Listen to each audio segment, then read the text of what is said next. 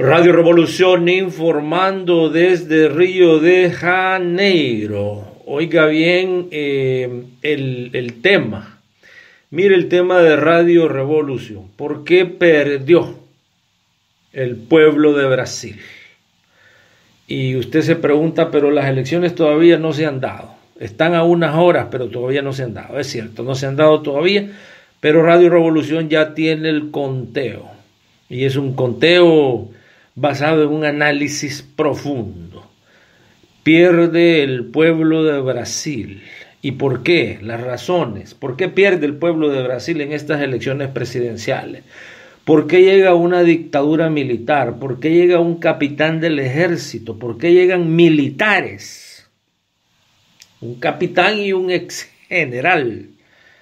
Eh, Bolsonaro es un militar de los que estuvieron siempre dándole apoyo infinito, indiscriminado a aquella junta militar criminal de los 60, ¿se acuerdan ustedes de aquel golpe de Estado?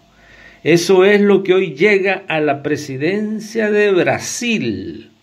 Él mismo lo ha dicho. Es un fascismo del nuevo siglo, fascismo del siglo XXI. Eso llega a Brasil eso llega a Brasil por muchas razones, pero la esencial es porque acaban de pasar de gobiernos, de una derecha traicionera, de una derecha cobarde, de una izquierda, de una izquierda que, y esto se pone entre comillas, fíjese bien, los pueblos los pueblos no es que perdonen a las derechas cobardes, criminales, pero los pueblos saben que las derechas son cobardes, criminales, saqueadoras por naturaleza, pero no los gobiernos de izquierda, no los partidos de izquierda. Vea usted que el partido de la izquierda brasileña estuvo en el poder por más de una década. Y vea usted que no le resolvieron los problemas fundamentales a la sociedad brasileña. Y esto hoy, el pueblo, el pueblo brasileño, que por cierto, el pueblo que va a ir a votar, porque la mayoría no va a ir a votar.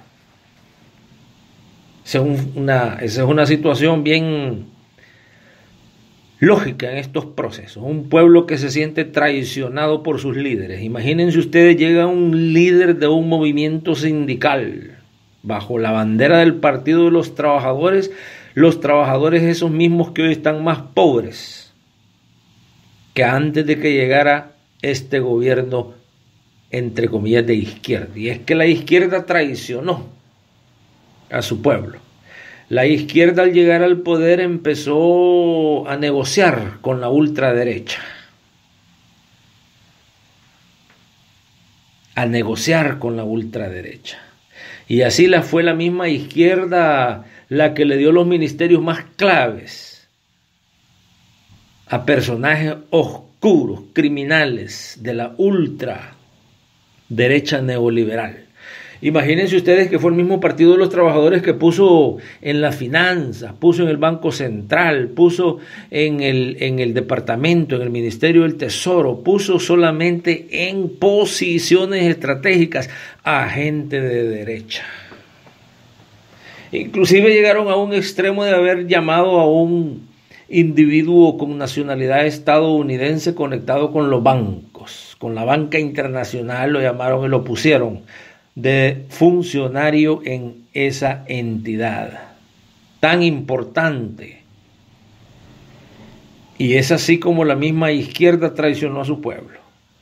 Hoy un pueblo le dice, no más izquierda corrupta, cobarde, hipócrita, que nunca pasaron de darle un vaso de leche, de darle un par de zapatos, de darle ladrillos, de darle casas de cartón a los pobres.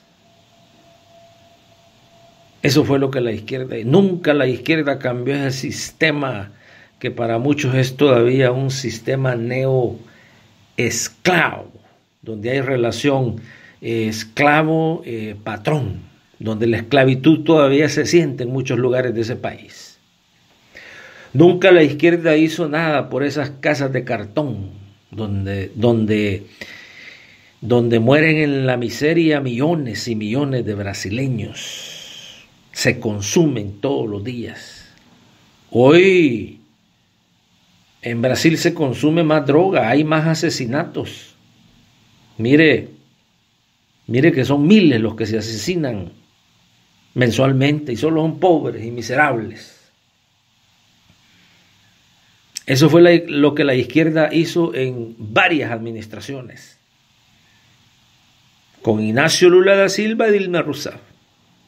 Se entregaron al Fondo Monetario Internacional, se entregaron al Banco Mundial, siguieron el texto de estas instituciones. Hoy piden un voto al que traicionaron.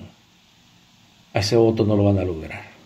Por eso es que llega una figura recalcitrante, llega un Pinochet del siglo XXI. Y ese Pinochet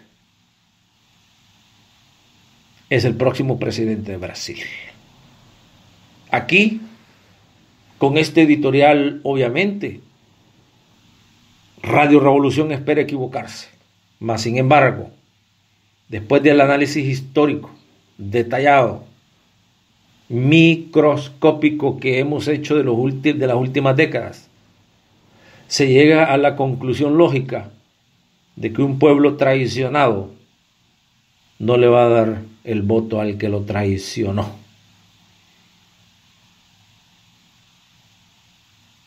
Jair Bolsonaro,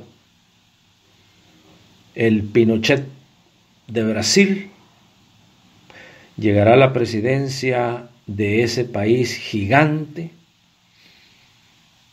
y sufrirán los pobres y sufrirá la media clase y sufrirá el medio ambiente porque lo va a abrir y ya lo ya empezó a entregarlo. Aún no siendo presidente en su programa de gobierno está privatizar inclusive las Amazonas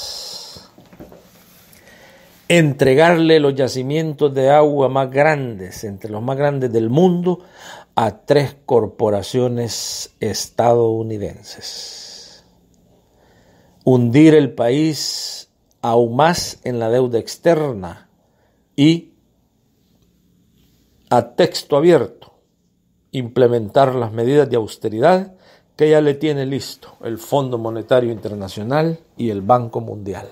Pueblo de Brasil, traicionado y humillado a sufrir más. Radio Revolución.